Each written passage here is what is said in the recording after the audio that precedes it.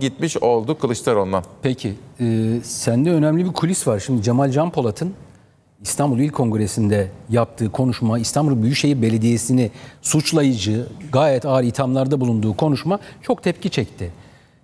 Bundan sonra Kemal Bey ile aralarında bir görüşme oldu mu? Kemal Bey ne söyledi ona ya da Kemal Bey'in bu konuşmaya tepkisi ne oldu? Ben bunu genel merkezdeki önemli isimlerle, Kılıçdaroğlu'nun kurmaylarıyla da konuştum. Bu konuşma Kılıçdaroğlu'nda tepkisini çekmiş. Bunu söyleyeyim. Haberdar mıymış acaba onu bilmiyorum. Hayır. Değil. Bu şekilde bir konuşma yapılacağından haberdar değil. Nitekim ben hani Kılıçdaroğlu'na yakın isimlerle yaptığım temaslarda bunu öğrendim. MKYK'da bunu tartışmışlar. Bazı MKYK üyeleri bundan rahatsız olmuşlar ve bunu ifade etmişler. Kılıçdaroğlu demiş ki ben de hoşnut değilim. O da zaten konuşmanın o şekilde ortaya çıkmasından hoşnut olmadığını ifade etmiş. Olasılıkla Cemal Can Polat'a da söylemiş olabilir. Burası kulis bilgisi olarak aktarmış olayım. Ama sevgili Kürşat aslında o gün ortaya çıkan tablo daha genç olmasına rağmen bir il başkan adayının iyi bir konuşmayla seçimi kazandığının örneği. Daha tecrübeli olmasına Yani rağmen şunu sormak lazım. Aslında Özgür Çelik mi kazandı? Tabii ki kazandı ama yoksa Cemal Can Polat mı kaybetti? Cemal Can Polat kaybettirdi. Öyle mi Bak diyorsun? şimdi editörümüz bilgi veriyor. O konuşmayı bir hatırlayalım Dinleyelim. mı? Evet. Evet şimdi o konuşmayı dinleyelim. Cumhuriyet Halk Partisi kongrelerinin kaybedeni olmaz. Biz burada sizlerle birlikte el ele kol kola bu salondan çıkacağız ve demokratik bir Türkiye'nin mücadelesini birlikte vereceğiz demiştim. Bu bir zafer konuşması değil. Biz zafer konuşmasını İstanbul'u yeniden kazandığımızda, Türkiye'yi kazandığımızda gerçekleştireceğiz. Cumhuriyet Halk Partisi parti içi demokrasiyi yaşatmaya devam edecek. Biz ilçe başkanlarımızla, il yönetimimizle, kadın kolumuzla, gençlik kolumuzla, tüm örgütümüzle kucaklaşmaya hazırız. Kucaklaşmaya hazırız. Kucaklaşmaya hazırız. İlk gideceğim yer orta tribünden benim değil diğer adayın lehine slogan atan ilçedir. İlk önce oraya gideceğim. Orada onlarla kucaklaşacağız. Orada onlarla helalleşeceğiz. Ve İstanbul'un mücadelesini birlikte vereceğiz. Demokratik Türkiye'nin mücadelesini birlikte vereceğiz. Bu kongre tarihi bir kongre demiştim. Bu bir başlangıç. İstanbul'dan Türkiye'ye umudu yaymanın başlangıcı. Yeniden İstanbul'u kazanmanın başlangıcı.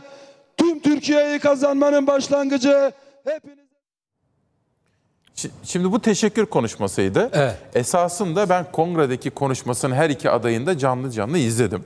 Hem ajanslardan hem televizyondaki canlı yayından da izledim.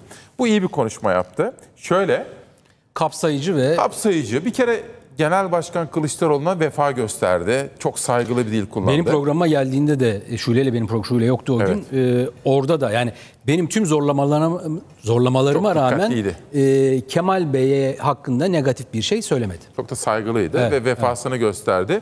Keza rakibiyle ilgili de çok düzgün konuşmalar içerisine girdi. Geneli itibariyle de beğenildi konuşma. Sonra Cemal Can Polat'a geldik. Bak şimdi ben hatta dün telefonda dedim ki ya siz dedim Özgür Bey kaç yaşındasınız? 41. 41 yaşında. 41 yaşında. Genç, Gençliğini hep vurguluyor zaten. genç bir... Şimdi Cemal Can Polat'ı çok eskiden tanırım. Ben daha gazetede görev yaparken 13-14 yıl önce gelir giderdi bize. Fakat Özgür Bey'i ilk defa gördüm. Hatta birebir hiç görmedim hayatımda. Telefonla konuştum. Ben de o gün ilk defa gördüm. Sen ilk defa gördün. Şimdi o iyi konuştu fakat Cemal Bey şimdi bize şunu gösterdi. Bir konuşmanın aslında seçim kaybettirebileceğini Ne kadar orada etkili gördüm. olacağını gösterdi. Siyasal iletişimin ne kadar etkili veya olumsuz anlamda etkili etkisini kaybettirecek Evet onun düzeyde için olduğunu sordum gördük. sana. Kemal Bey'in haberi var mıymış diye anladığım kadarıyla. Kemal haberi. Kılıçdaroğlu ben bunu Zeynel Emre'ye sordum. Dedi ki bizler de şaşırdık dedi. Üzüldük. Hmm. Çünkü dedi şöyle bir ifadesi oldu bak. Kılıçdaroğlu en yakın isim. Bir konuşmama sen de şahitsin. Evet, biraz önce 3-4 kere konuştum bugün. Çünkü çok uzun yıllardır da tanıdığım, güvendiğim de bir isim olduğu için merak ettiklerimi sordum. Dedi ki Sayın Genel Başkanımız da rahatsız oldu o konuşmadan dedi. Niye dedim? Çünkü dedi Ekrem, bak çok önemli burası. Ekrem İmamoğlu bizim belediye başkanımız. Ekledi artı Ekrem İmamoğlu bizim belediye başkan adayımız. dedi. Adayımız. Peki bugün ne oldu? Kürşat bana söyler misin? Bugün İBB'de ne oldu? Ne oldu? Bak Sonra soruyorum. şok edici bir şey oldu bugün. Herkes, değerli izleyenler şok olacaksınız. Tevfik Göksu'nun bile İmamoğlu için kullanmadığı dil, üslup, Tevfik Göksu'nun bile hiçbir zaman bu kadarına başvurmadığı iddialar, hani seçim döneminde oluyor bunlar ya, ama Tevfik Göksu bile bu kadarını yapmamıştı. Cemal Canpolat öyle konuştu, öyle konuştu. İddialar, onlar, bunlar, savunma. Gazeteci isimleri verdi. Yok şu dedi, bu dedi, bilmem ne filan. Belli ki etkilenmiş ama biraz kendini kaybetmişti. Bugün ne oldu? Bugün İstanbul Büyükşehir Belediyesi'nde AK Partili ve MHP'li meclis üyeleri Cemal Canpolat'ın konuşmasını dinlettiler. Buyurun dediler. Ha kullandılar. Kendileri söylüyor dediler yani. Bakın durumu Bak, kendileri söylüyor Biz dediler. söylemiyoruz dedi. Evet. Sizin Cemal Can Polat'ınız dedi. Açtılar orada dinlettiler. Ve soru önergesi verdiler iyi mi? Yani Cemal Can Polat aslında bugün iktidar partisine böyle e, onun ekmeklerine böyle tereyağını sürüverdi. Yani e, CHP'nin İstanbul Büyükşehir Belediye Başkanı adayına, mevcut Büyükşehir Belediye Başkanı'na herhalde bundan daha fazla e, en azından seçim için zarar verilemez. Veremezsin yani çünkü hani, hani tam seçimlerde rakipler birbirlerini kötülüyorlar. Evet. Biz bunu en son ne gördük? Erdoğan ne dedi Kılıçdaroğlu için? Şöyle dedi, böyle dedi, işte dağdan şu geldi. Onlar montajdı. İtiraf da edildi sonrasında. Tabii, tabii. Seçim dönemlerinde alışkındık. Ama dediğim gibi Tevfik Göksu'nun bile İmamoğlu'na söylemeyeceği, söylemediği, söylemeyeceği, söylemeyeceği şeyleri Cemal Can Polat söyleyince bugün İBB meclisinde bunlar konuşuldu, tartışıldı. İyi mi? Onu Cemal Can Polat'a sormak lazım. Acaba ne hissediyor şimdi? Evet. Peki, dur. Evet. Şimdi soru şu, şunu konuşalım. Ben sana sorayım, sen bana sor. İstanbul'u alan CHP'yi alır mı? Şimdi ben de bazı isimlerle konuştum.